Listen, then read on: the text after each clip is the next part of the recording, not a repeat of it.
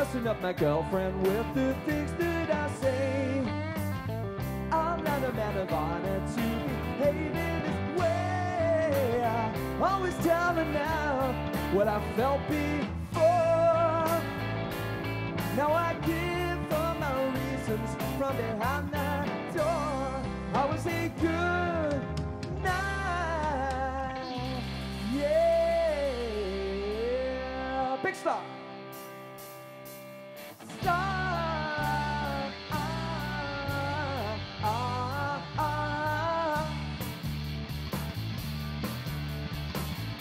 Cats are running around. The tiger's dying in a circus cage. It's enough to make you scream out loud. You should be shining like a real big star. The rumors going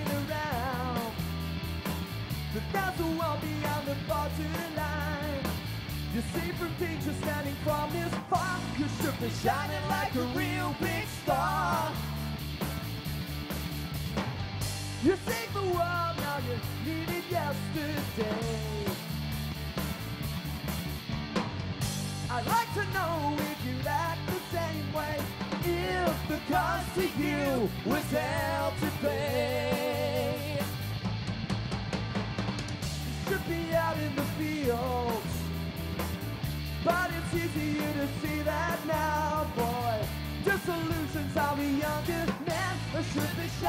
Like a real big star.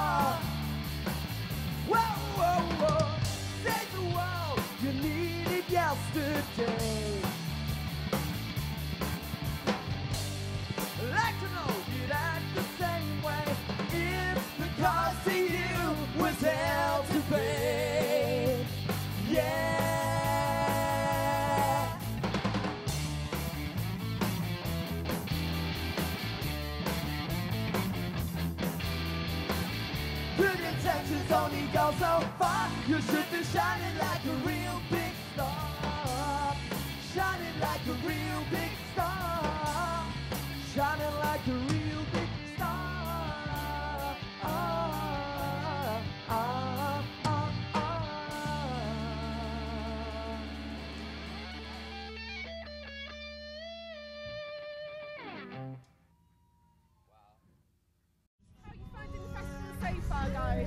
We had no idea what to expect, and what we got was, well, we couldn't have expected anything better. Simon has just done a cracking job, and the atmosphere, and meeting people like yourselves, and the, the crowd, and the setting. We, we love this neck of the woods, as we said earlier, and yeah, very responsive. People didn't know us from Adam, and we were made to feel like we were playing in our back garden, except my neighbours don't like me. Do you have any more gigs or festivals lined up? Uh, well, we've just come back off uh, a tour of the country with uh, Johnny Monaco and the Traitors, and the, I, I'm actually I've got a solo gig in Switzerland in two weeks' time because I co-reside there, uh, and my wife is Swiss, um, Boy Manuela, uh, and and then Yeah, sorry ladies, he's married. He doesn't have a ring on his finger, but I've got I've got a tattoo instead. I think I think I think that anyone watching this will be more surprised that I'm actually into women, but um, but no, Magic 8 Ball, we're next off. We're next up this way actually in October. We're playing at the Diamond in Sutton-in-Ashfield. Uh, so we've got that to look let's try and to. get somewhere a bit more local. We have a, we have a little tour in, in October. Yeah, we, we, we absolutely um, love getting in the car and places that are new. And this isn't my first time in Warwickshire because, as I said, I, I ran the Shakespeare Marathon uh, a few years ago and did uh, Touch FM, uh, did a session there in Honolulu last year. That, that's how it's so slim, by the way. A lot of, hard, lot of hard work went into that six pack. Yes, a lot of ro- Any excuse for a film? Yeah, th- these feathers are covering up the pecs, unfortunately. I, I, I always wear strokable clothes because I've, I've found that even if someone is doesn't find you attractive, they just go, it's a really nice. I had velvet trousers once. It was brilliant. and, and did it have the same effect? Yeah, it's like, it's like your thigh, like, I'm in there. I went one. I went one beyond it. I, I I met um, a very lovely lesbian girl last year, and she was stroking my coat. And I said, "Oh, if that's what you're going to do," and I placed the coat in a, another region of my body, and I forced her to stroke it, and good sport, she did actually.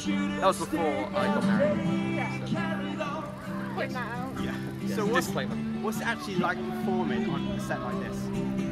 Well, last summer Magic 8 Ball did a, a gig in Guernsey, and um, the, we were right by the sea, and it was outdoor, and the sound would come out of the stage and then get blown away, so we couldn't hear a thing.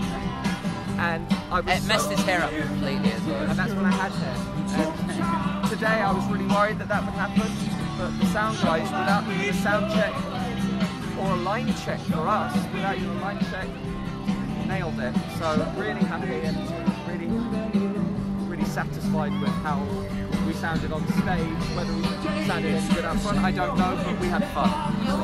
And, and the, the weather's held out as well. Yeah. It so got, little, it got a little bit of sunshine. So, uh, So what are the most outrageous outfits you've ever worn on stage?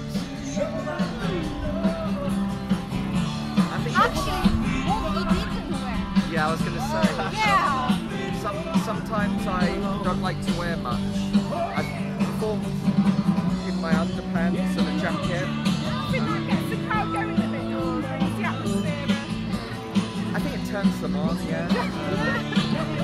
I, I don't like it, but I, I've got to think about my audience. You know? If they want physical attraction, I provide that. And the other guys are here to, um, well, yeah, basically moral support to my to my beauty and my my charm. But no, it's I, I think I, the, the sort of front men I love, the Freddie Mercury's, the Steven Tylers, they're very much um, peacocks. Hence the name of our uh, first CD, A Peacock's Tale, is a reference to uh, the, the that, that trait of the lead singer to be um, a vibrant character. And you get some who are more about the character than the actual music.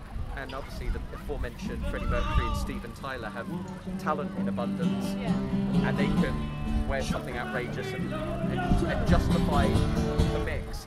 And and that's what I aspire to. Whether I achieve it, I don't know, but I aspire to being as musically good as I am, uh, clothing you pulled it off We today. And it's been great to meet you. Absolutely. Enjoy the pleasure. rest of Download Festival. Thank you.